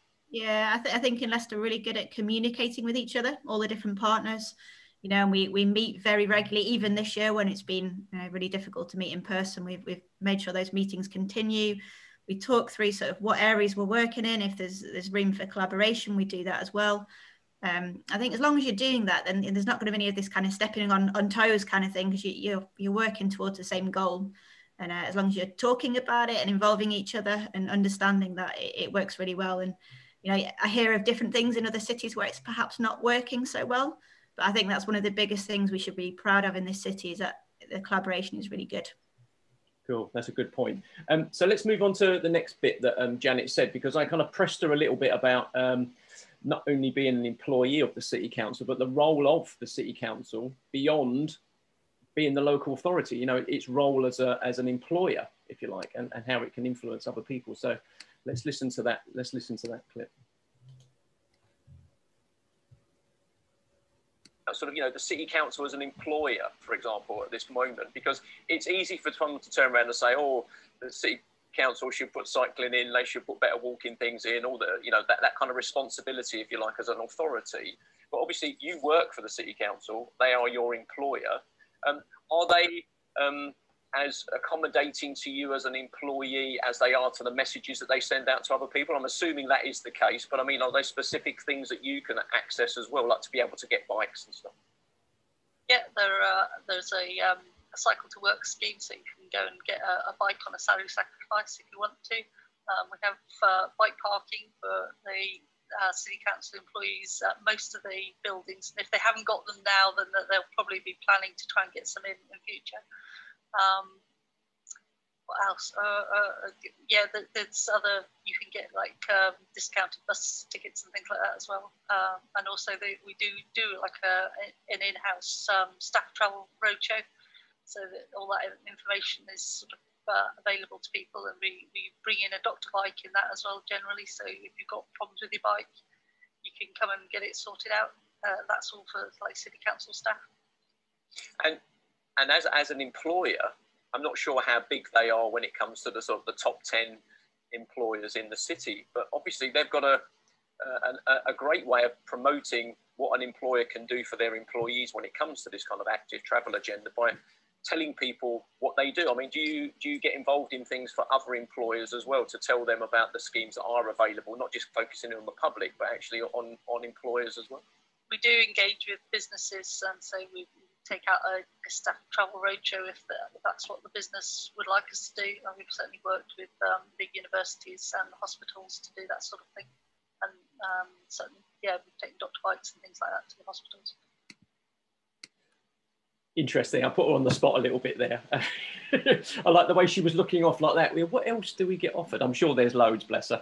But I thought that was quite interesting. I mean, Wayne, you do a lot of work, obviously, said across the region, in other cities and stuff like that. Do you do you find employers like some? I mean, I'm talking about some of the larger employers now. Come come direct to you for support and advice when it comes to this kind of stuff.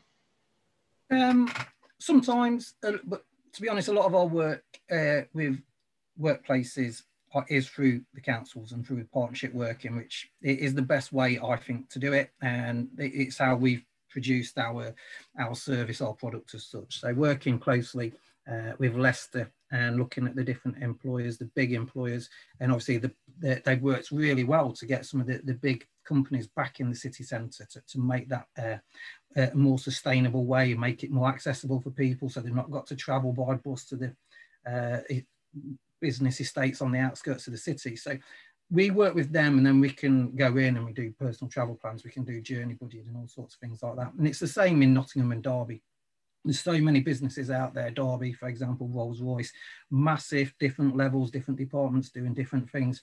Uh, but yeah we can work with them and we on the very basic things as what's been said as a doctor bike just going in helping people look after the bike most people don't know through to that personal travel planning through to looking at the company wide infrastructure um, and uh, where look transport between the different sites using cargo bikes, using electric bikes themselves and getting their own fleet of, of kit like that. So the, the, partnership working is definitely the best way with, with the city councils and uh, yeah, all the other organisations that you've already mentioned that are already out there. Yeah, interesting point there. I mean, I mean, Mel, do you? I mean, you, you know, being reasonably new to the Sustrans as well, were, were, were some of these employee benefits, if you like, or some of the things that Janet was talking about there, are, are they conscious things that you would look for when you when you were looking for additional work and stuff?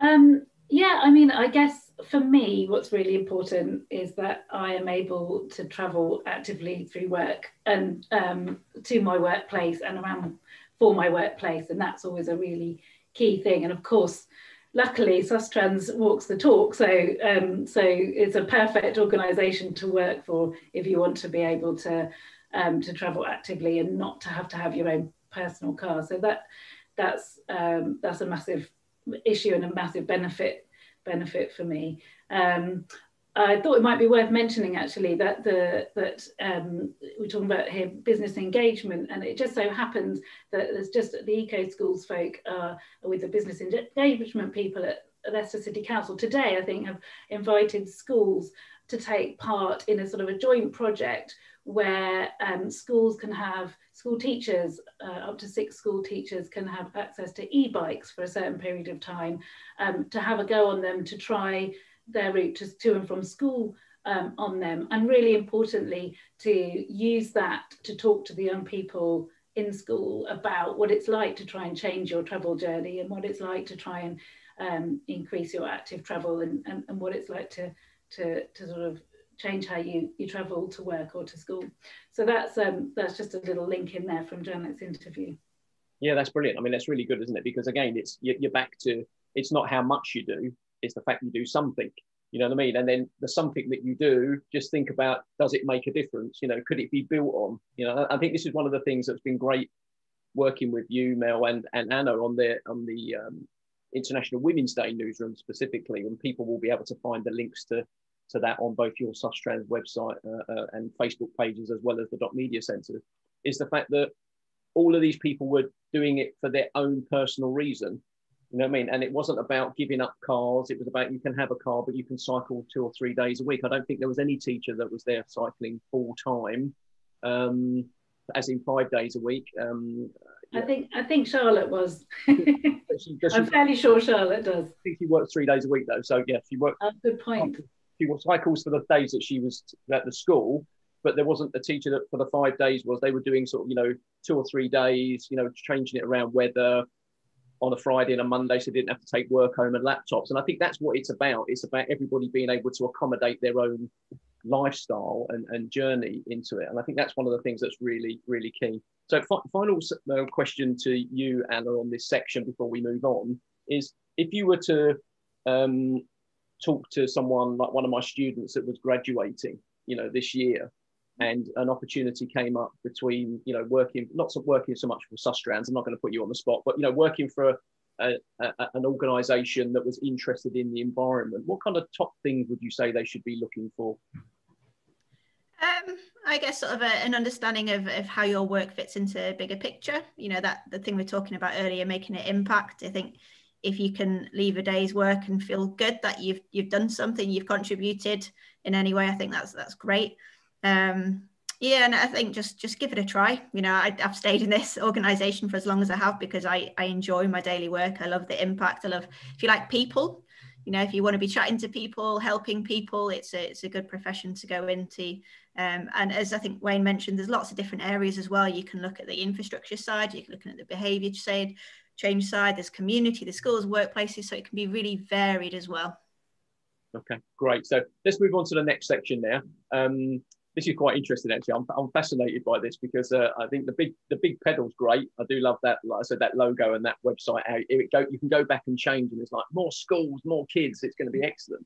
Um, is this helmet, hijab, and hair competition? So what we're going to do? Let, let me show let me show the little a little section of the film, and then I'll come back and talk to you because I just think it's a really great way of getting people to think about it very differently.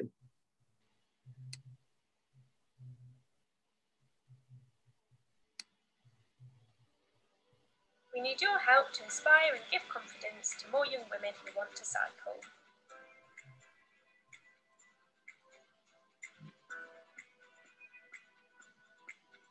By helping out, you can win vouchers for hairdressing or cycling equipment.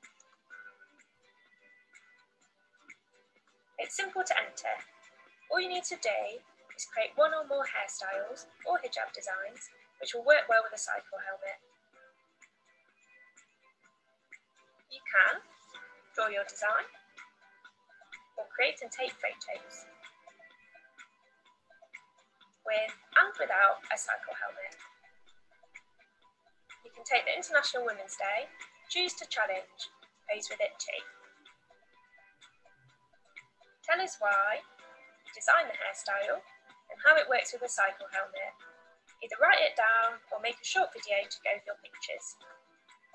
Send your entries to mail.board at sustrans.org.uk. If you're under 18, please send them via a trusted adult, like a school teacher, parent, carer, or youth worker.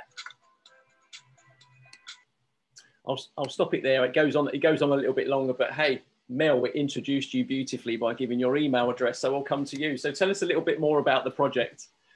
Well, first of all, I'd just like to say that that we wouldn't have got to see that if it hadn't been for Wayne, whose technical know-how made that possible. Because um, I haven't got a clue how to make an animation film like that. So thank you to Wayne for knowing knowing his stuff on that one. Um, so yeah, so the project um, it came out of a, a, conversation. If, you, if you've seen the International Women's Day newsroom, you might know this already. But it came out of a conversation um, with a young woman that I volunteer with. Actually, um, I first met her over Zoom. I was doing some teaching with her um, through an organisation called After 18 she'd have a different hairstyle every single time I met her on Zoom, like something amazing and fantastic, like beautifully managed. And then I met her in person and she arrived on her bike, which I was super excited about um, because I work for Sustrans and I, and I love it when people cycle. And um, so I got chatting to her about that and she was saying, I hate wearing my helmet. Um, but my, my foster mum says I must wear my helmet and I know she's right because it's much better for my safety. Um, and we carried on chatting and as a schools officer I was kind of keen to know does she ever cycle to college and she went to college. um, so she, she, she hadn't thought about cycling to college. And, and uh, the reasons she talked about, one was sort of storage, where would I put my helmet and things like that, but also about that she, she wore quite, she wore quite a simple hairstyle with her helmet and she likes, you know, when she goes to college to, to look really, really stylish.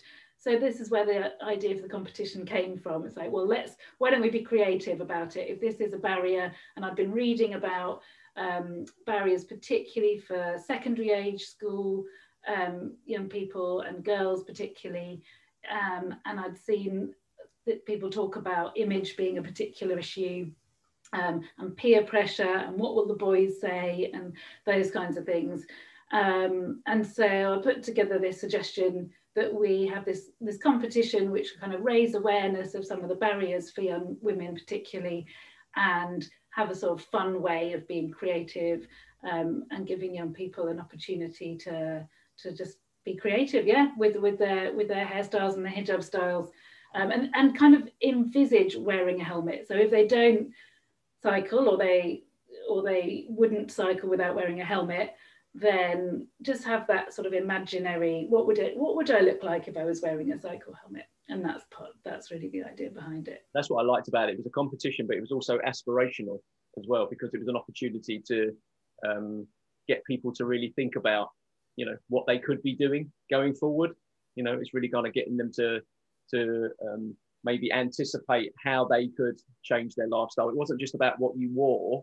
It was also about um, you know, uh, the, how you how you wore your hair and stuff like that. It's really interesting.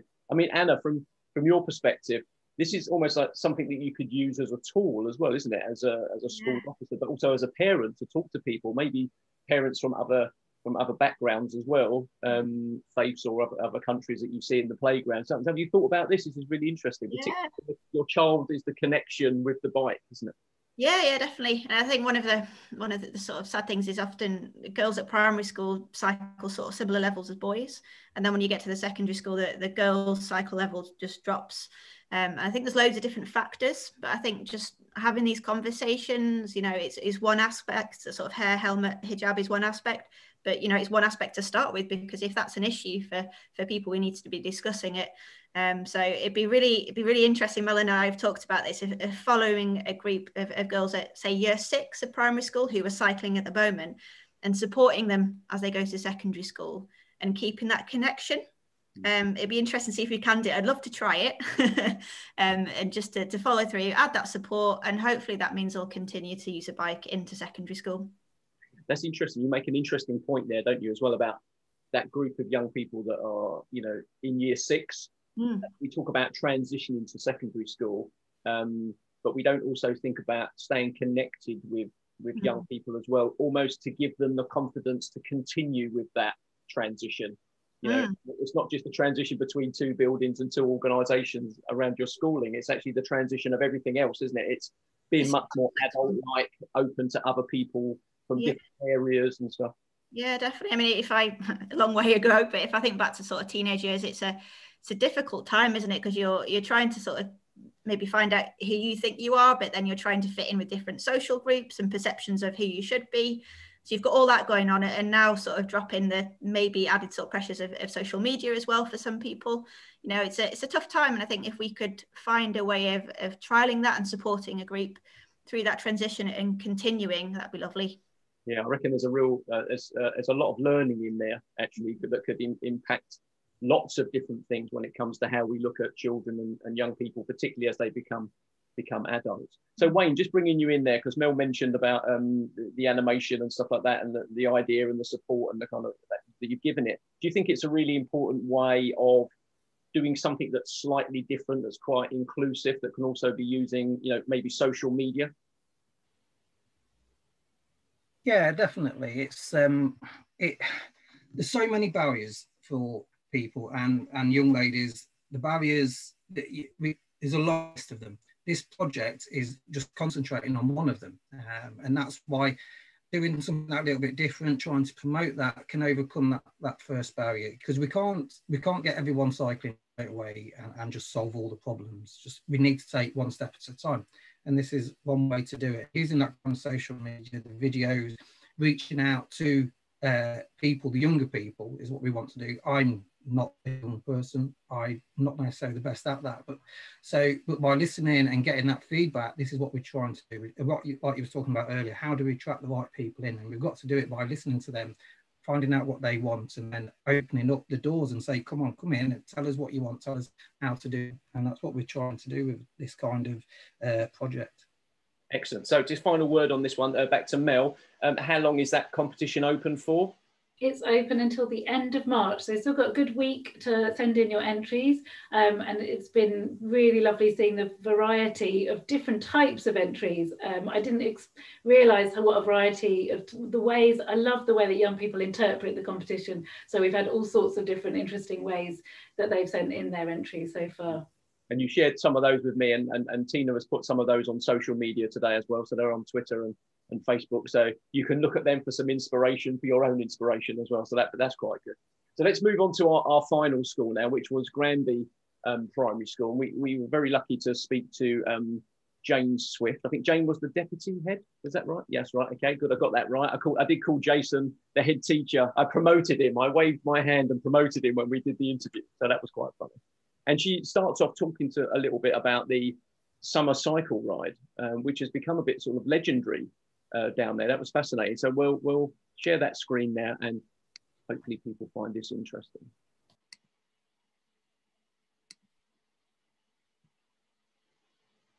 Community event. So it started. I don't know how many years ago actually. Probably I can remember doing probably eight or nine years now. And our previous head, Peter Fowler, set it up. It was his idea. And the idea was that um, children and their families can start a bike ride at Granby cycle down the Great Central Way, go to the park um, at the end of it, going in towards town, um, and then cycle back again. And then when the children get back to school, they can have um, a barbecue. And so some staff are along the route, and some staff are at the park at the bottom, and some staff are cycling as well with children, um, and parents who are encouraged to join in and then um, some staff are back at school preparing the barbecue and then they all come back and have a big barbecue. Usually it's really really hot and sunny. We've, i don't, don't, think it's been rained off at all actually. Um, so it is quite a big event and um, peter fowler our previous head um, always championed cycling. It was really important to him and i think the school have just kept that tradition going. Um, so we haven't been able to do it obviously because of covid. So so we've had a, a year out of doing it um, and some of the children scooter as well. And we try and get all the sort of young children involved with parents. But it's, it's become quite a big community event. Um, it's really good fun. It's interesting because being able to catch up for this newsroom and also the newsroom for International Women's Day, the Sustrans newsroom we did with in partnership with Mel and Anna. It's interesting talking to teachers and particularly head teachers and you yourself being a, a deputy. There's that kind of role model to your staff well as to the pupils. And I think also being able to take parents and, and governors, even schools have been talking about closing streets yesterday and having the neighbours involved. It really is, you've got to take everybody on that journey, not just teach young people to, to bike ride. What do you think is one of the most positive things that comes out of those events that you've seen over the years for the school? I think I just think the families being involved in it and, and the school being part of the community and you know being a community event but the governors are involved the governors come along on the bike ride the governors can help with barbecue and just having all of that school community there but also seeing families cycling together and enjoying it and in fact our IT technician came with um, some old sort of CDs he'd found with pictures on the other day, and one of them was of one of the old cycle rides. And I sort of put them on my computer and had a look through them and just seeing some of our families from the past and thinking of past pupils and past families and looking at these little smiley, happy faces cycling past and thinking that, you know, you sort of started a tradition, but hopefully got more families out cycling together and enjoying some time together. Yeah. So Anna, just bringing you in here. There you go. I was, I was a second over there. I apologise. So I will bring you in, Anna, just to make sure that I segued into that beautifully. Um, obviously, Granby is where your your own daughter goes. It is, yeah. That's right as well. So again, is, is this something you'll be participating in as a? Do you do you wear a do you wear a Sustrans yeah at the top and then you wear a parent helmet i mean how does it work when you participate this is uh, my daughter's first year in school so we'll see how that goes but yeah in, in the past i've uh, supported the ride by being out and about maybe at one of the crossings um, and it's it's an amazing event considering it's led by a school know lots of things happen where you have outside people going in to support but when when you've got a school that takes it on themselves they they put up um, posters and labels along the route the week before to let people know there'll be a bike ride coming uh, that particular time on that day. You know the the organization behind it is is amazing. And literally you know you might have 300 people riding by at one point from one school which is amazing to see um, and I, I, really hope it will continue. And yeah, whether we support it as Sustrans, and I um, can't wait as a parent as well to get involved. Um, it's it's just wonderful. It's great, and it is one of those things that parents talk about. You know, it's, it's kind of one of those events in the calendar that people look forward to. So yeah, long may it continue. Yeah. I mean, Wayne, looking again um, with your uh, regional focus, is is it is it a good feeling as someone who works for Sustrans when a, a school comes to you and says we want to do our own it's great when they go on the schools ride don't get me wrong. I mean i love i love seeing it here in the city. I've, I've seen them light up some amazing spaces with them all cycling past and all the noise that comes with it and and the disruption is really good. Um part of me sort of slightly anarchistic when i see it because i just think that's what it's about. It's only when young people take action like this a bit like if older people all sat down in the middle of a street you know we've, we've got to start taking a little bit of a positive direct action to make some of these changes and the pandemic's done that for us. Is it a good thing when a school comes and says look you know we want to do our own schools ride. Can you help us? Do you have resources available for that? Are you able to support them? Absolutely yeah it's always good. And it happens i mean our program it's been designed specifically so we work with the schools quite intensely to start with basically hold their hand to show them what to do the second stage, as we go through, we step back a bit and it's that empowering. They've got the knowledge. And the third stage is really hands off, uh, sending them emails, when they give us a call if there's an issue they need to sort out. And that's when we do see these schools take take it on themselves. And when they do, it has that longer knock-on effect as sort of things you've been saying. We, we then see the, the families out cycling. We see the children out uh, uh, riding. And when the, we get involved with the council events, such as like, for example, a year or so ago, there was regularly doing uh, open streets event in, in the city centre on a Sunday morning. And we'd be there and the children would come up and talk to us and they've cycled there with their family and the family had talked to us and tell us it's because of things like these bike rides that they all got back on their bikes again and they're back out there and they're doing things and they're sharing their stories in their community. And it does have that knock-on effect. And we also see them at the events that Anna mentioned earlier, the uh, pop-up events in the parks that we do over the summers as well. Um, and so linking that in with the schools, yeah, when those schools say, yes, we want to do it, we've got the resources, we've got the templates, we've got the, we can help them plan the routes. Even if we're not working intensely with the school, we can help them uh, show them what's available, particularly in Leicester. There's so many great cycle routes we can do. The Great Central Way straight down the middle, but it's accesses so many different things, so many different parks, so many different like nat- uh, natural nature areas and everything as well. So yeah, I yeah, I love it when the schools come and ask and say, yeah, we want to go for this. And it's the same in, in any project. And when they do it and we stand back, the, it's slightly alarming. We can't we can't run it when there's 300 people because our our rides that we lead are educational rides, taking people to that next level, showing them what to do. 300 people is beyond uh, what we would do. Um, but it's not about what that, it's about them saying, yes, we're going to go out, we're going to have fun. It's the parents leading this, it's the schools leading this. It's listening to the children, which is what we've always got to do with this, looking at things through their eyes, what they want to do. And our job is to empower that and help make it happen. Yeah, I think that's been one of the great things about these two newsrooms is listening to people coming at it from that holistic approach where it's not just about the children cycling and doing their level two and the schools ride it's about you know governors people that work in the schools you know the caretaker the neighbors everybody going on this journey that we've all got a role to play when it comes to to changing it. I mean uh, mel just bringing you on this in on this conversation as well as, as, as someone who was a secondary school teacher for example um, we tend to find that a lot of this really good fun interesting stuff that's done at primary school tends to disappear when we become uh, in, into into secondary school and it all gets a little bit serious when someone comes to you at 13 and 14 and says what do you want to do with the rest of your life and pick your GCSEs and it all starts getting a little bit more serious isn't it um, do you, what kind of impact do you think something like these kind of programs that we see here and been talking about in, in primary schools are available in secondary schools. I'm not saying I don't know that they are or they're not. I'm just thinking of, you know, the work that Tina and I have done, for example, in secondary schools. You very rarely see any projects like that, it tends to be around mental health and photography. We're working with Fulhurst on a project like that, you know. So, is, would you see that as an important thing as a, as a former secondary school teacher? Yeah, so um, I know that in Leicester there has been work done with um, several secondary schools in the past. And also we've been discussing regionally actually um, with Wayne and Anna and lots of our other colleagues about um, the fact that there is more currently available for primaries than there are for secondaries, and there is a tendency to work more with primaries than there is with secondaries. And there are lots of reasons for that. Um, and one of those is, is the sort of structures of secondaries versus primaries. So things tend to be very much more boxed off in secondaries. Um, and so um, for example, if, if we're doing a campaign in primaries, it's much easier for it to become a whole school campaign very quickly.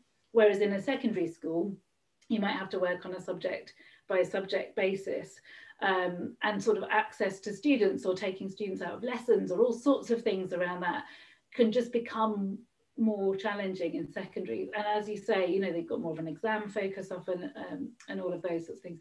So, but we, I'm very passionate about, um, about, you know, working across the range. And I know Anna's already mentioned that we've been talking about an idea of maybe a transition project.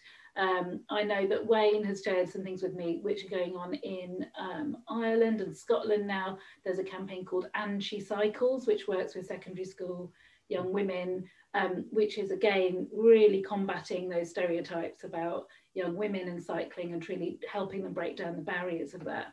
So I think there's a lot of enthusiasm. Um, I think that we've definitely got existing things, we've got existing resources and existing things, and we also have this aspiration, I think, to to up what we're doing um, with that age group, and because there's that sort of understanding that you often get this brilliant uptake at primary um, and then sort of adult uptake and you've got this sort of gap in the middle.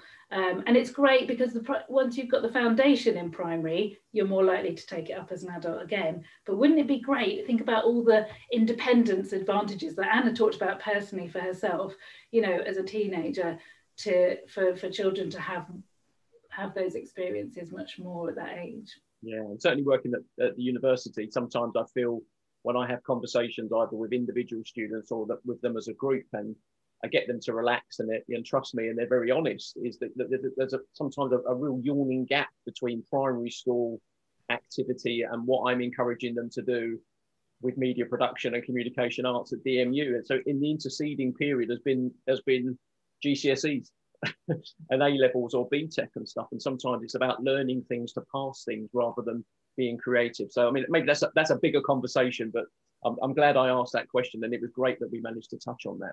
So we've got two, two as well. Just um, just, I just want to say with the secondary schools on some of our projects, it's like it's about uh, being able to just be that more creative in our thinking and taking it to the school. So, like as an example, project we had in we've just restarting in Lincoln, but the project we had in Lincoln a few years ago won some national awards, and it was about active travel and linking with the A level students uh, around photography, and they won. Um, they was out. They were planning their routes from the school by bike to the train station. They went on the train to Skegness, came back. They took the photos, and and those what by being able to do that, it was we weren't talking about cycling, we weren't talking about trains, we were talking about their A level work, and they two of the I believe two of the children um, they got commissioned by the trains uh, train company, and now if you go on the Poacher Line train from Nottingham to Skegness, their displays are there. They are actually promoting those A-level students, and those A-level students were able to put that in their portfolio for the application. Yeah. The other options, we've got local uh, in Derby, we've got the velodrome, so we can uh, and we, we can look at doing sort of cycling as part of women's uh, girls PE or boys PE, and get them to go from Leicester to the train to Derby into the velodrome, do part of that, and then come back through the GCSE. So this, that's what our officers bring to that and linking it all up with active travel. It's not just about yeah getting on your bike, as you were saying earlier. Yeah, maybe we could do a separate active travel newsroom that specifically focuses on secondary school or college stuff. Yeah. Quite interesting. Like I said, you know, the fact that you're combined, we, we've done, you know, mental health projects and well-being projects using photography with Fulhurst. So suddenly, if that was included with an active travel element, um, you know, it'd be quite interesting. Yeah. So maybe maybe we can explore that over the over the coming months. So let me let me just go on to the final two things for for today's newsroom before we run out of time. Um, now I never realised, but there's an active travel week. Okay, and, it, and uh, it was in December last year when it was incredibly cold, and and, and Jane was sharing um, some stuff with us about that. So let's have a quick listen, and then we can we can touch base on what what she says here. Well, it was really good fun actually, because obviously we'd not been back that long after COVID. And I think we were planning to do it a little bit earlier and then it got moved because there were quite a lot of things happening in school. And what we really wanted to do was do some events, do some fun activities for the kids, because obviously there's no trips, you know, there's no other events really happening in school, not many visitors coming in school. So actually quite a lot of the learning was classroom based. And so it was sort of really good to have a few different activities going on for the children to invest in and get excited about and just sort of make it a bit more interesting than sat in the class just doing the lessons every day. And so it was a, a really good week to celebrate how we travel into school. And we've been using our bike shelter um, from September. So we had had the bike shelter still still in use, um, and the children park their bikes and scooters in there every day. Um, it was just a really fun week. The children like receiving the raffle tickets every day. Um, so if they biked or scooted or walked to school, they got a raffle ticket, and they really look forward to that we did lots of activities during the week about sort of bikes, the parts of bikes, repairing bikes, um, watched um, sort of clips and um, information that had been sent to us by Sustrans. They were really useful in providing the resources for us. And then on the Friday, we had a Be Bright, Be Seen day, which was really good actually because it was starting to get dark. You know, it was dark in December, it was dark in the morning still. And so it was really nice to see them come in on that day in really, really bright fluorescent clothes or just bright, colourful clothes. Um, and then we just had a, uh, an assembly celebration um, that was led by Sustrans for us. Uh, it, it, was just a really fun day, um, and the children love travelling to school either by walking or cycling or scootering. You know, they really do enjoy coming into school that way. Um, any children that tended to come by car, we talked about parking a few streets away and then just sort of walking the last bit, and then they still got um, a, a, a raffle ticket, so they didn't feel that they'd missed out. Um, but it was a really good week about talking about road safety as well. Um, and just helped us talk on the Friday about why it is really important to be bright and be seen. Um, and then we, we ran a competition throughout the week as well, and Sustrans provided prizes for that as well. Um, so sounded really good fun actually. I feel like I've missed out that week. That sounded like there was especially stickers and badges and all sorts of stuff. And this is, I guess, um, Anna's really important, isn't it? It's the it's the inclusion, even those children that aren't able to participate because of the parents, for example, then you've still got to, you know, park a few streets away and you can still get something. It's not about having and not having, isn't it? It's we've got to be really careful about that as well. Yeah, definitely. I think those, you know, park and strides are something that the council are really pushing forwards because we understand that, you know, some parents might need to to drop the child off by car because they've then got to go on somewhere else.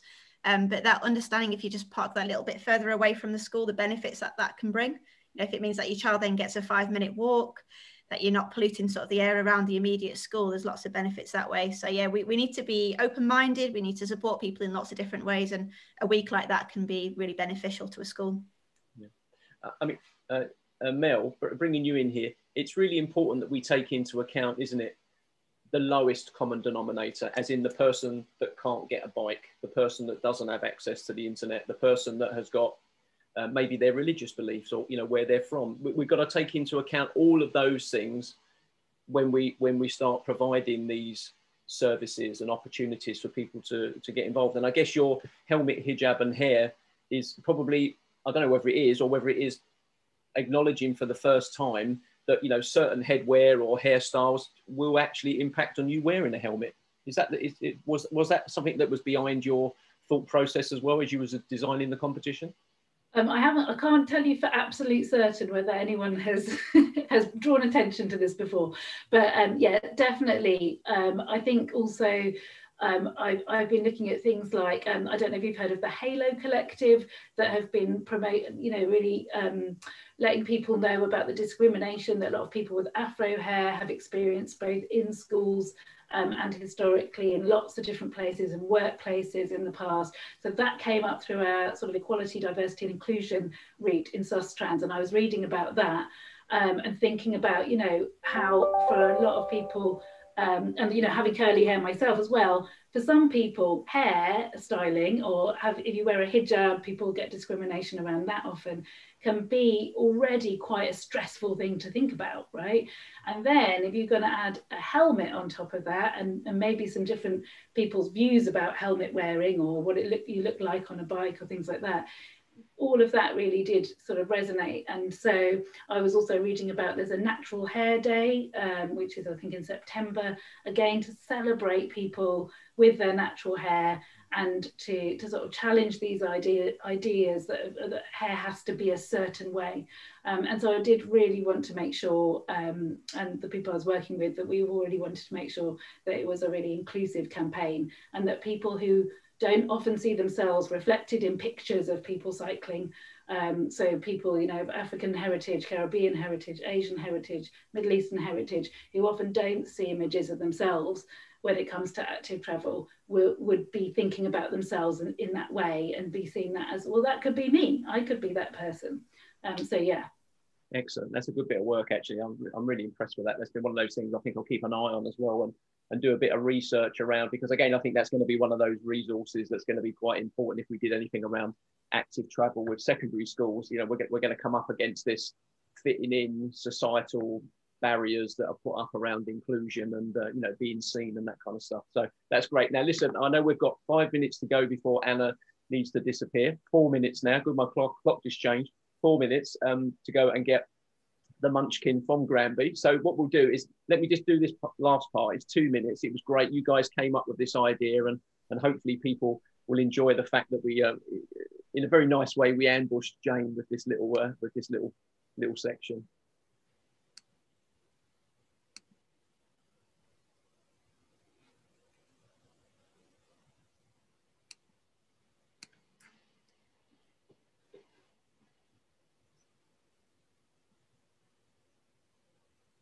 we bring uh, the uh, conversation to a close, but we've got something rather special for you. So I'm going to hand over to Anna and Mel to ambush you shamelessly on this Zoom call. Will you go first, Mel? Um, sure. Um, yeah, so we, myself and Anna have been talking about just how Granby has stood out during this time in terms of your continuing commitment to active travel and your continued engagement with us and just the encouragement that the children have been getting to continue taking that sort of those healthy choices um, that's so good for their well-being in so many different ways. Um, so Anna came up with a with a brilliant idea of a prize, which maybe she can tell you about and introduce. I think that's all for you, little. Uh, yeah, so we hope this will be a, a fantastic prize for, for Granby. We have an amazing colleague called Lee Timmis, who is a superstar adventurer. Uh, he cycled all around the world over seven years, and he is also a, a world record holder. So he's uh, he's got the current world record for cycling across Europe in 16 days. Um, so he is an amazing talker and inspiring, and I think the assembly that he'll be able to give to your your children, I think will be uplifting and encourage more children to maybe just get out on the bike at the weekend, enjoy some of the things Lee talks about.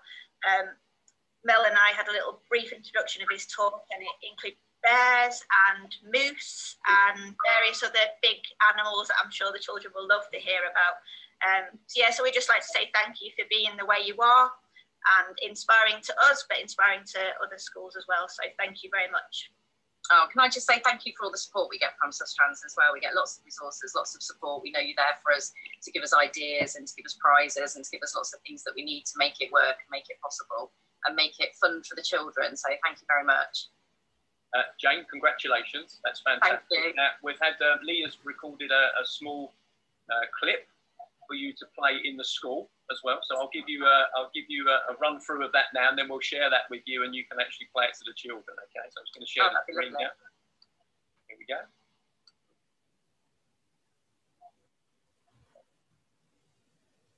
Hello, everyone at Granby Primary, and congratulations on being Sustrans Active Travel Superstars. My name's Lee Timmis, and I'm a world record breaking cyclist, and I've cycled around the world. And I'm your prize. Well, kind of. Don't get to keep me. But next month, I'm going to visit you virtually to share some of my experiences and adventures from my years on the bike and to do some questions and answers with you. Congratulations again, and I'm really looking forward to meeting you soon. I've just got the visions of like someone taking Lee home on their bikes. That I mean, I've, I've won Lee for the for the weekend. I've got to take him home like the classroom pet. Uh, it- Wayne, is this one of the uh, prerequisites when you're interviewing people? They've got to have a good sense of humour. Oh, Woody yeah, they, they need a good sense of humour. It- yeah, it's just, we do just have some amazing members of staff, amazing people in the team, on all our teams. And yeah, Lee's a little bit of an exception, but talk to us. We've got members of staff that cycled around the coast of Britain. We've got uh, another member in our team that cycled from North to South America. Anna has cycled all sorts of places around the world, and I know Mel's had some adventures as well. But it's yeah, it's just yeah, it's the great bunch of people, the great team, and yeah, they just lead by example, and they really empower the kids that we're working with, which is so so good. Brilliant. Okay, so we've, we've come to the end of the newsroom. Um, so what I'll do is I'll give you all an opportunity to to say some final final thoughts, maybe. So Anna, you can go first. Yeah, if I go first, then I might need to dash or I'll be getting told off by Granby. Yeah. Um, just to say thank you, John. This has been such a brilliant experience and it's been enabled us to keep in touch with lots of our schools as well and bring them along with this journey of doing the newsroom. So yeah, just just a big thank you to, to you and to Tina. Thank you. Good, good. Now Good, say bye-bye. good fun. Yeah. See you later. Bye. There we go. Anna off to be active. Okay. Mel. Um, yeah, just to echo that really, and just to say to Wayne, could we? Well, one of the great things about doing this is like to to think about how what we've achieved and what the schools have achieved that we're working with. So instead of writing a report at the end of each quarter, can we just do another Trapful newsroom with John? Part of it, yeah, we'll, we'll go for it. We'll pitch that one, see how we get on. You should be asking me that way, not asking you permission for me to do it. Good grief! Yeah. I've, I've just I've just been ambushed there by Mel. That was rather good, wasn't it? Yeah, we'll have a different theme each quarter. It'd be great.